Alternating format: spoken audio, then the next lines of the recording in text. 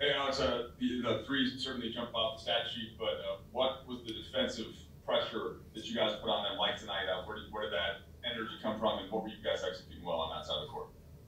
Um, you know, we just try to carry over from what we watched on film uh, from last game. Uh, Clippers kind of did that to us, and we weren't, uh, whether it was early game or us just not coming out ready to play. Uh, just playing, you know, with a, a disposition, a, a, team energy, team will of getting stops, playing physical, uh, and sharing the ball. And you know, we came out and I thought we did a really good job of that to start the game, and then carried it through for the win. And then go back to the threes. Are do you think three point shooting is contagious? That there have been kind of the Sacramento game, right?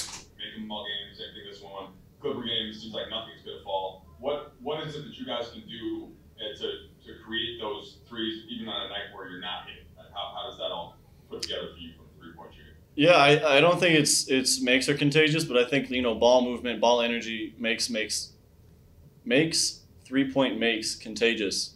Um, you know, we're just creating great shots. We got extra passes. Uh, we're getting to the paint, spraying out to open guys, and, depending on who's helping, um, we're just making good decisions for our teammates. And, and when you make plays for others, uh, you know, it's a little easier to to shoot it, and usually they go in more. Kyle. Hey Alex, um, you know Kyle uh, or Kuzma said uh, after the Clippers game that he, he wanted to see Talen make plays for others a little more.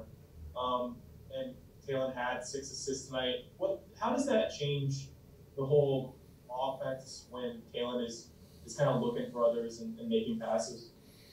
Um, yeah, I don't even think it's just Talen, but, but I mean, speaking on Talen, he just has such a great ability to get downhill and get to the paint, right? He has such great uh, body control and strength for his age. Um, and then he has long arms to be able to get in there and finish when he needs to. But uh, you know, that's just part of his development. You know, he, he's he, he's been such a natural scorer and natural uh, ball handler getting to the rim uh, that you know it's just part of his growth.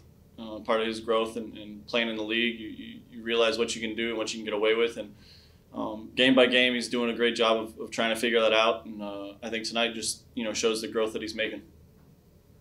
Bill. Hey Alex. Um, I'm wondering what kind of lesson um, you think can be learned from the way Mark has responded to um, the last week and the, and the addition of Drummond and, and then the way he's been able to contribute over these last few games with Andre out. Uh, he's a pro, man. You know, he, he's been in this league for a number of years. He's a selfless guy, uh, great teammate. You know, that's part of the reason. I mean, everybody on the team is, is on, on this team for that reason. You know, we know they're going to be great teammates we know that the end goal is to win championships, and uh, there, there's different looks for our team that are better. And uh, you know, some of these some of these games, being able to stretch the fives out uh, has been an advantage for us. So, so Mark's been valuable in that uh, that respect. And then you know, just getting him involved. Like I said earlier, the more we we hop the ball around, Mark is such a great passer, has a such great uh, IQ for the game that when we kind of play this way, um, I think it, it benefits him as well as the other the rest of the team. Dave. Alex, you guys had 17 threes against the Kings, seven against Clippers, 18 tonight. Is that like the obvious that the, the Clippers are a better team in the standings and so they provide more of a, a line of defense on the perimeter, or was it something that you guys got back to doing in this game that maybe you did in the Sacramento game that was lacking in the Clippers game? Yeah, I think it's just our team consistency. Um, that and I mean, you know, some days you make shots, some days you don't. You always got to take that into effect. Uh, you know, guys don't shoot 70, 80%.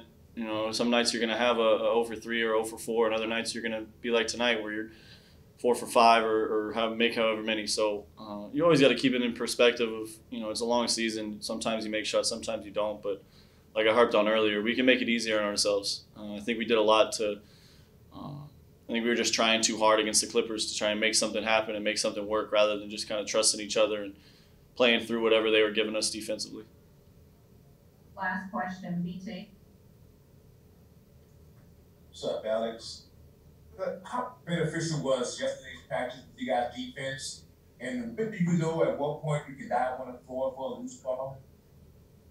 Um, yeah, yesterday actually we, we, you know, our practice was offensive focused. You know, because even, I mean, through the Clippers game, we only gave up 104, 106 points, which is you know really good for an NBA team still. Uh, top half, top 10% of, uh, in the league for defensive efficiency. So it was really more about our offense, um, making good passes, running through our, our different uh, actions that we got, and that's probably why you know carried over to the game today. We got great threes because that's kind of the stuff we worked on yesterday. Uh, as far as diving on the floor for a loose ball, you know, it's kind of like every other thing that, that I, I do, um, just trying to anticipate the play, uh, whether it's a steal, rebound, an assist, or, or a, a shot. And the one tonight, I just realized I wasn't going to be able to outrun, uh, I think it was Malachi uh, Flynn. So uh, just had to realize, you know, jump on the floor, get the ball, and make a play.